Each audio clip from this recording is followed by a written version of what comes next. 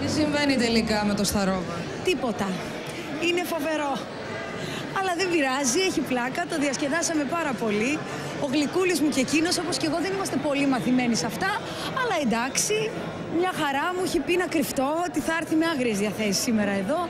Οπότε, από ό,τι καταλαβαίνεις, κάπου θα είμαι κρυμμένη για να μην με βρει ο Δημήτρης. Ήθελα να μπω εγώ στην παγκαζιέρα και μπήκε εκείνος και εκεί ξεκίνησε η διαφωνία μας.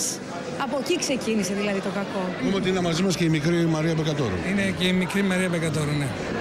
Τελικά, τι τις έκανες; Τίποτα, είναι τώρα τους βγάζουμε τους γύψου, τις γάζες αυτά, να συνέλθει λίγο το κορίτσι. Όλα αυτά για το προπαγκάζ. Ποιο πορτμπαγκάζ. Όχι, όχι, δεν Γιατί καταλαβαίνω. είδε πρώτα τον Γρηγόρη.